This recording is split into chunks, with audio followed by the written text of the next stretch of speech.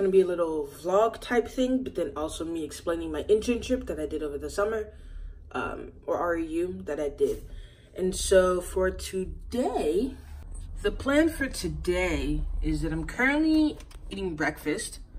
Boom. This smoothie was wild berries, bananas, uh, and then a little bit of water, yogurt, and some Splenda. So pretty good. I'm liking it so far. Has a lot of seeds, so that's just kind of an L. But that's besides the point. Then I have to take some quizzes because I'm, I'm essentially an RA. And then I have to do some homework and then pack my clothes because I'm going home tonight and then the gym. So those are the plans for the day. So I'm going to split up me talking about my experience over the summer into three points throughout the vlog. And so right now I'm going to explain what I did and where I was and the overview part of it. The second part will be more me explaining and showing actual examples of code and the visuals that I created and the things that I did. And towards the end, I will explain um, my experience overall and how I felt and if I would do it again, if I would recommend it for computer science students. Um, so introduction to me if you're new, um, and if you're new, please subscribe if you like the video. Uh, my name is Davi. I am a third year computer science major with a minor in cognitive science. And over the summer, I did an REU, which stands for Undergraduate Research Experience at Temple University in Philadelphia. Um, I'm not from Philadelphia, so that was truly an experience, me moving across the country for 10 weeks, so that was a lot. But um, I was placed under a professor in the Department of Chemistry. She was a theoretical chemist, and I worked on quantum mechanics. So quantum mechanics is essentially just electrons and studying how electrons move. Because for example, if I were to drop this Rubik's Cube in front of me, you're gonna know that it's gonna drop in the section that I dropped it in. But if you drop an electron, homie could go literally anywhere. So like I'm studying electrons essentially, and I was studying double ionization in a molecule called cyclohexadiene. Um, so yeah, that's what I did over the summer. I spent 10 weeks studying this molecule, reading a lot of papers, and I programmed in Python, and I programmed visuals, graphs, simulations to model this molecule, um, essentially, because it's very expensive to test um, quantum mechanics in real life. You trying to get this laser to go into that electron to give it energy to, for it to leave or exit this molecule. So it's just very expensive. So it's more cost efficient to do programming. And so then the next part in a couple minutes of this video, I'll explain and show more graphs and show what I did actually. So it is about 3 p.m. now and I've been up for like three hours. But now I need to pack because I'm gonna go home and then I will uh, go to the gym. So yeah. Hello, hello. So it is about four-ish and I am about to drive home. I finished all of the things I needed to do. And so yeah. So in the entirety of 2019, I've probably spent about two weeks at my house because I just was like super active in school. And then I did that internship directly from school. Like I was home for like five days. And then when I came back from that, I had to move into school within a day. So it's just kind of a lot. But I'm excited to be home. Hello? Hello?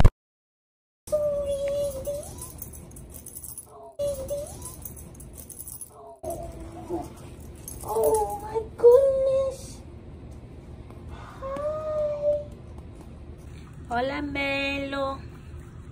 Hola Melo.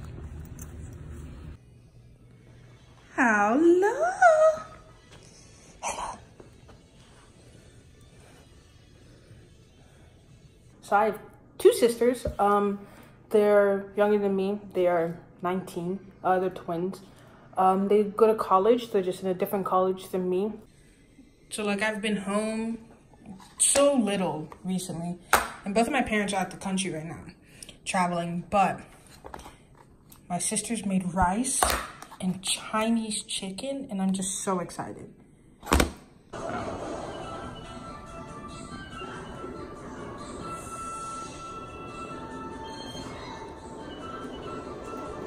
All right, so let's actually talk about what I actually did for 10 weeks in Philadelphia.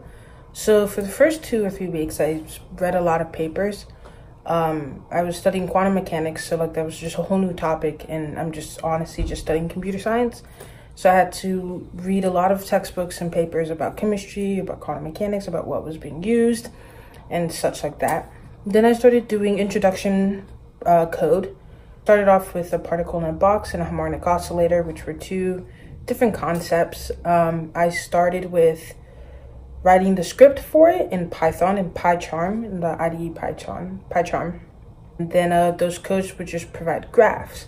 So graphs looked like x squared functions, and if you, or like an inverse of an x squared function, and then if you increase or decrease a certain thing, there would be more nodes or less nodes um, for the particle in a box. And that's just like showing the probability of an electron being found in this space based on these two walls that you put. It was just like a lot to do. It the code itself was not that difficult and not that complicated, but like the concepts itself was what I personally struggled with the most. And then once I understood that, and then I did it in a 2D form, 2D way, so the graphs for those are here. And so um, it was just a lot of like me writing code and, and having graphs. So then when I actually, you know, had a decent understanding on that, we moved on to more complicated things. So I used a software called ORBKit. Um, it's made by, here's my postdoc's friend. He made it and it's a plugin to help you have certain calculations for molecules. I was trying to understand more about the mechanisms behind double ionization in cyclohexadiene, which is the Molden file of that molecule, essentially. And by doing so, I had to take that Molden file, run it through ORBKit, and then from ORBKit, it gave me an H5PY file, which is unreadable.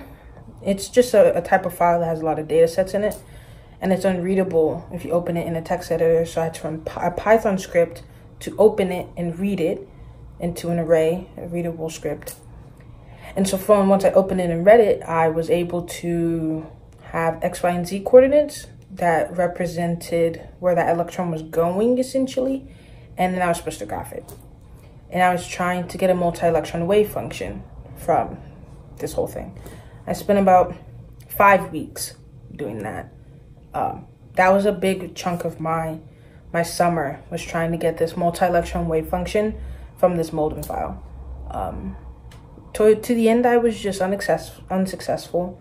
Um, why I was unsuccessful is just a whole nother thing based on my postdoc and my experience there. But like I tried my best essentially, and I learned a lot. But um, yeah, that's what I did the whole summer. I spent most of it reading something, like reading textbooks and papers, or trying to get this multi-electron wave function from this thing.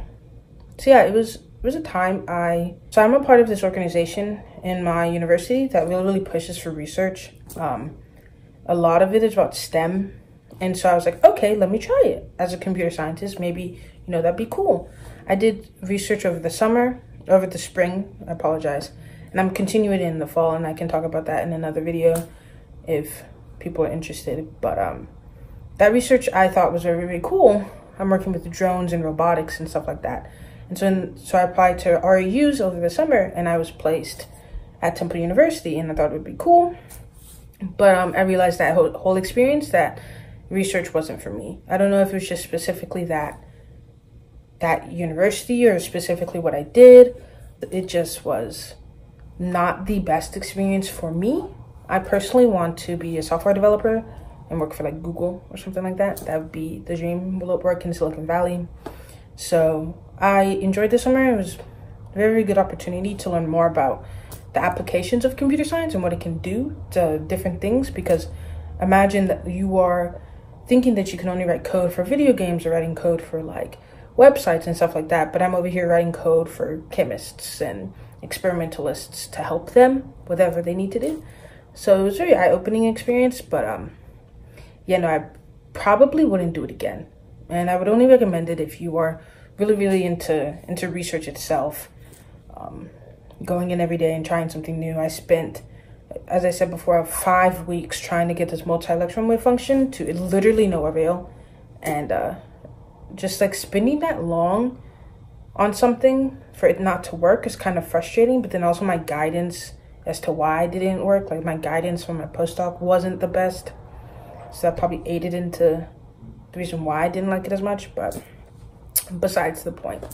Um, but yeah, that's what I did over the summer for 10 weeks was study electrons and Python and stuff like that. So if you have any more questions, please leave them below.